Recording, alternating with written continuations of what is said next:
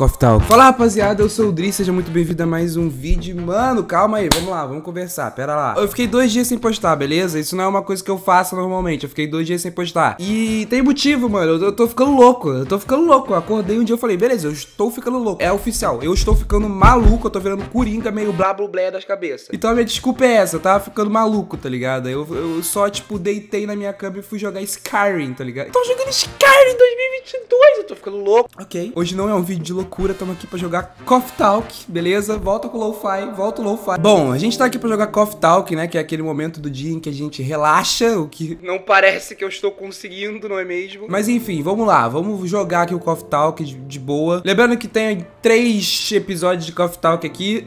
São três? Eu espero que sejam três. tá bom. União dos Trabalhadores Orcs pede auxílio ao governo. Hum. Grupo Street Oxista é questionado sobre letras pró-ecoterroristas. Caraca. Lobisomem ativista preso por porte ilegal de sedativo de fúria. Meu Deus. Começar o dia, beleza. As coisas estão ficando meio, meio estranhas aqui, tá ligado? Vamos lá. Vampiro! Olha só, ele voltou. Boa noite, senhor White. Noite. Ah, mano, eu já sei o que aconteceu. Teve um episódio onde esse vampiro veio com um amigo dele, que era o lobisomem. Eu acho que é ele que foi preso, mano. Enfim. Veio sozinho hoje? Gala já está vindo. Ah, ok. Não é, não é ele. Beleza, eu pensei que era ele. Está bem vazio aqui. Você é o nosso primeiro cliente hoje. É. Tem algo de errado? Não. É um pouco estranho você dizer nosso, uh, já que claramente só tem você aqui. Ah, só eu mesmo quando estou trabalhando. Sempre me vejo como barista e como cafeteria. Entendo. Bom, quero fazer um pedido. Ah, finalmente, né? O que você deseja essa noite? Hum, você tem sangue?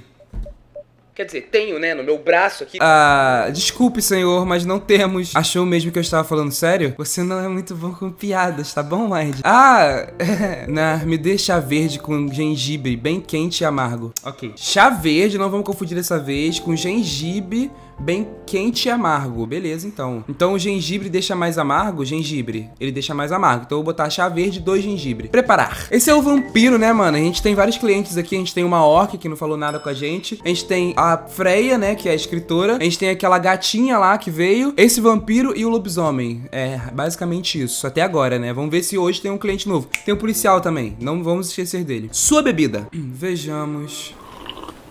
Bom, que bom que gostou. Aliás, se não se incomoda com a pergunta, diga. Disse que estava aqui a negócios? Sim, por algumas semanas. Você não é da área de saúde como o senhor Gala, é? Nossa, não mesmo. Não consigo me imaginar fazendo algo tão. Hum. Qual é a palavra? Algo tão honorável como isso? Hum. Quer dizer, que lida com coisas que não deveria perguntar. Não sou um criminoso, se é o que está pensando. Digo, não é um trabalho mal por si. Só não é respeitoso como ser de um hospital. Eu te entendo, meu amigo. Eu sou youtuber e eu nunca sei como falar quando as pessoas perguntam o que eu faço. É sempre assim. Você mora sozinho? Sim. Seu pai te banca? Não. Você trabalha com o quê? Aí ferrou. Essa é minha vida, tá ligado? É o resumo da minha vida. Então o quê? Adivinhe. Viaja muito? Mais ou menos. Ficou amigo do fundador de alguma startup? Então você tem sua própria empresa? Ou trabalha em alguma agência de investimentos? É, trabalhava, mas não mais. Esse fundador, ele é só um amigo. Então, o que você faz? Tive muitas carreiras na minha vida. Nossa, eu tô curioso, cara. O que, que ele faz? Enjoei de todas depois de um tempo. Agora, eu sou modelo.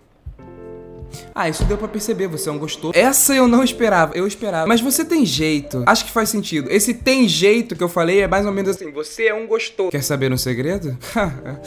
claro. O comercial dos cremes contra o envelhecimento. O que? Modelos vampiros? Temos boa aparência, naturalmente. Pele mais clara que a dos elfos. E sem aquelas orelhas pontudas estranhas, o que nos faz belos manequins vivos.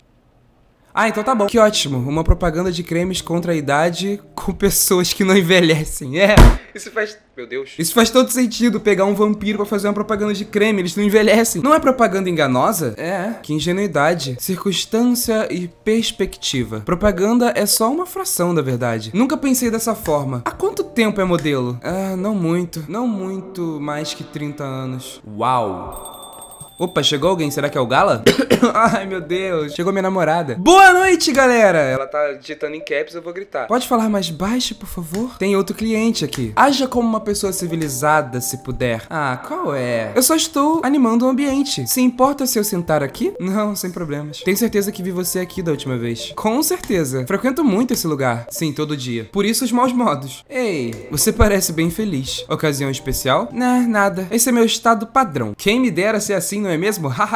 Ela só tem dois estados: ou ânimo extremo ou super estresse. Seria eu a Freya? Pare de me difamar. Então, qual é esse papo? Falamos da profissão do Sr. White. E o que faz, caro senhor? Sou modelo. Ela ficou choquita, ela ficou choquita. Ele faz isso há 30 anos. Puta merda!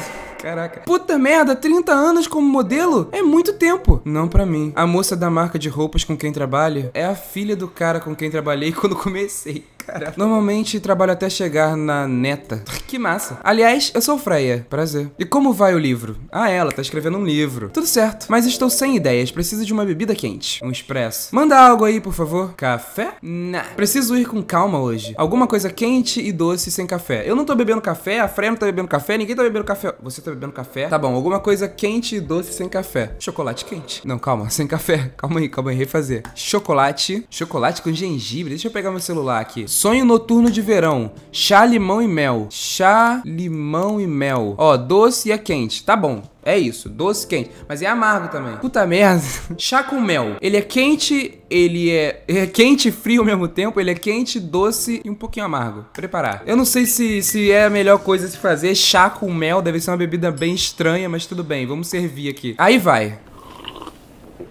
É... Boa! Perfeito para encerrar o dia. Ok, obrigado. Eu nem sei o que, que eu te dei para beber aí, mas tudo bem. Que bom que gostou. Você é escritora? Sim, trabalho no The Envy no jornal. Olha só, você não vem conversar com a Freya assim não, beleza? A não ser que a gente faça um trisal aqui. Mas estou escrevendo um romance também. Que legal. Sobre o que é? Ah, é complicado. Espere até ela terminar. Isso aí, sem spoiler. Se algum dia ela terminar, no caso. Tem isso também. Qual gênero? Slice of Life. Hã? Sem fantasia nem sci-fi? Ainda não me decidi. Provavelmente vai ser um slice of life normal. Vai ter uma boa concorrência. É verdade. Mas vou botar uns elementos surrealistas. Talvez escrever sobre um mundo onde só existem humanos. que engraçado. Peraí, será que o criador desse jogo é a Freya? E aí, tipo, ela frequentava uma cafeteria com pessoas, e aí, para não parecer as pessoas de verdade, ela, tipo, botou, tipo, elfos e tal, para ficar mais surreal. Caraca! Né, parece um pouco racista. Esse é o plot twist. Não é sobre soberania racial. Acho que mesmo em um mundo de uma raça só, problemas ainda vão aparecer. É, minha filha, com certeza. Você não tem nem noção. Discriminação e racismo ainda vão acontecer. Como podem ser racistas sem outras raças? Diferenças linguísticas, nacionais, ideológicas ou cor de pele, não sei. Quando tudo é igual, até as menores diferenças vão ser gritantes. É, Freya. É sim. Freya hoje está sensata. Ó, oh, all shape, all shape. Talvez a diversidade seja o que nos ajude a separar as diferenças. Ai, que jogo bonito. Na real, sempre achamos um jeito de odiar os outros. Disso eu tenho certeza. Não parece muito engraçado. Ei, é fantasia. É para isso que serve a ficção, afinal. Pintar o... E se? até que parece interessante mesmo. Vou comprar seu livro quando lançar. E viajar até aqui para um autógrafo. Ah, obrigado. Opa, mais um cliente, mais um cliente. Din, din. Quem será dessa vez?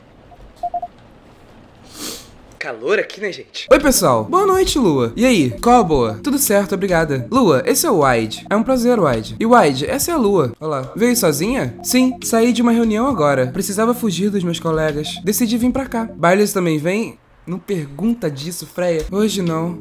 Opa, celular tocando. Ele é freelancer, lembra? Livre para fazer o que quiser. Tá tudo bem? Sinceramente, não conversamos muito desde aquele dia. Sabia que eles tinham terminado, mano. Que pena. Nossa, que pena. Vamos melhorar essa cara com uma bebida quentinha. Boa ideia, valeu. Queria um chá verde light. Chá verde light? É light mesmo? Não é light que... Eu não sei se é... É só light, não sei. O que foi? Não, nada, desculpe. Então tá bom. Então tá bom, é isso. Chá verde, chá verde, leite, leite. Pra sucubo. Preparar. Ai, que bom que você voltou à minha cafeteria. Estava com saudade de você. Ah, eu posso fazer uma arte aqui também. Vamos fazer uma arte, vamos lá. Vou vou, botar leite aqui. Calma. E vou desenhar. Não tem muito como desenhar aqui, né, mano? Tipo, não sei nem porque que eles botaram isso. Não tem como desenhar. Enfim. Chá verde latte pronto. Obrigada. Eu não sei porquê, mas do nada senti vontade de beber chá. Além do mais, isso aquece a alma. É suspeito da minha parte. Mas bebidas têm o poder de conectar os corações das pessoas. Surpreendentemente profundo para uma xícara de chá. Hum. Aliás, sobre o Bailers, ele veio aqui de novo? Depois daquele dia? Não que eu saiba. Não veio. Né? Atende o telefone, homem, porra! Acho que devo desculpas pelo tumulto que causamos. Não se preocupe com isso. Quem é esse Bailes e de quem tanto falam? Hum, batalha de gostoso aqui, ó. Batalha de gostoso, mas eu realmente acho o vampiro mais gostoso que o Bailes. Desculpa aí, eu sou. Ele é. Ou era, nem sei mais. Meu namorado. Nós discutimos uns dias atrás. Sobre o quê? Não é meio ruim ele perguntar sobre isso? Nem me fale. Eu sou só uma cliente, você que manda aqui. É um velho problema. Sou uma súcubo e ele é um elfo. Hum, problema de raça, como sempre. Putz, não seja rude, velhote. Quê? Estou continuando as perguntas que você fez. Tudo bem, Bailes e eu temos visões diferentes sobre a importância da família. Minha família é muito próxima e me apoiam muito. Mas, como eu estou com um elfo, eles têm medo de me tratarem como uma mendiga. Bailes, por outro lado, vem de uma família muito respeitável. Eles podem ser cautelosos demais, eu sei. Mas, por qualquer razão, ele despreza a família. Não me surpreende que eles desaprovem nosso namoro. Você não é como a maioria das sucubo que eu conheço. Como seu namorado está lidando com isso? Ele diz que é melhor deixar tudo do jeito que está. Do jeito que estivemos nos últimos 10 anos. Então, estão juntos há 10 anos. E ele sugere que vocês sigam como sempre fizeram. Digo, nos últimos 10 anos. Não tiveram aprovação da família, é isso? Bem, sim. Quero que nossa relação progrida. Quero uma família. Ele discordou da ideia de se casar com você. Não, pelo contrário,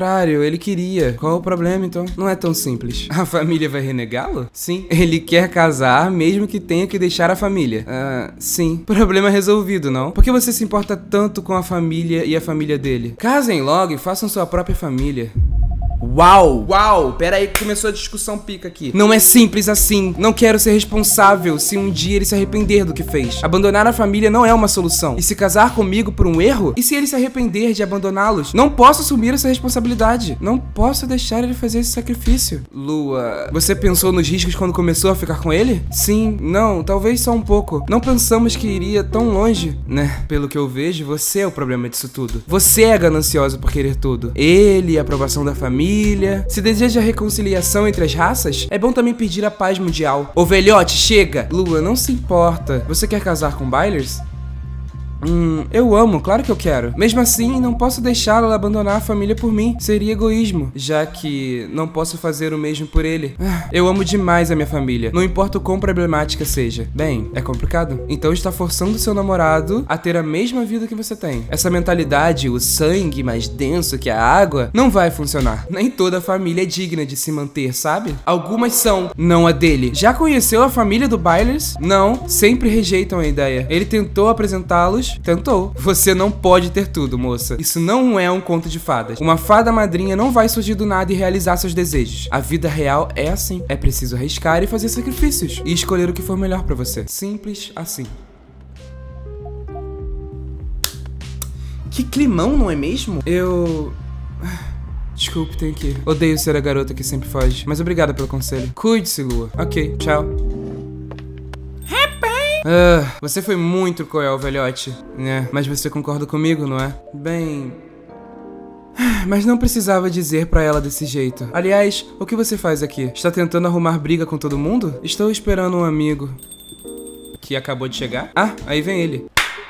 Yeah, boy! Boa noite. Oi, Gala. Ah, eu esqueci que a voz dele não é assim. Como vai, Freya? Tudo bem, mas seu amigo é um baita de um encrenqueiro. O que você fez dessa vez, disse a verdade. Cruel, para alguém que precisava. Mas do jeito que você disse, vou pedir algo para beber antes. Aí vocês me contam o que aconteceu. O que vai querer, senhor? Lembra do meu remédio da fúria? Comentei sobre ele alguns dias atrás. Aquele de gengibre e cafeína? Sim. Pode me ajudar a descobrir uma combinação? Claro. Devo misturar gengibre em um chá? Sim. Chá, gengibre... Eu ainda estou em dúvida sobre o último. Ok, vou tentar alguma coisa. Você vai saber quando acertar. Tá. Chá, gengibre, controlar a fúria, talvez leite, tá ligado? Ou café. Não, café seria muito óbvio. Tá, beleza. Chá, gengibre, café. Isso não faz sentido. É, chá, gengibre, leite. Isso parece bom. Vamos preparar. Chá com café, não faz sentido nenhum. Vamos tentar este. Obrigado, Matheus Dri. Nossa, minha cafeteria hoje tá animada. Hum, perto, mas acho que não é isso. O que acha que falta? Da próxima, tente trocar o leite e o gengibre. Pode deixar. Obrigado. Ué, ok, agora estou pronto para ouvir. Conte o que aconteceu. Ela pode contar melhor que eu. Tá bom, tem uma garota.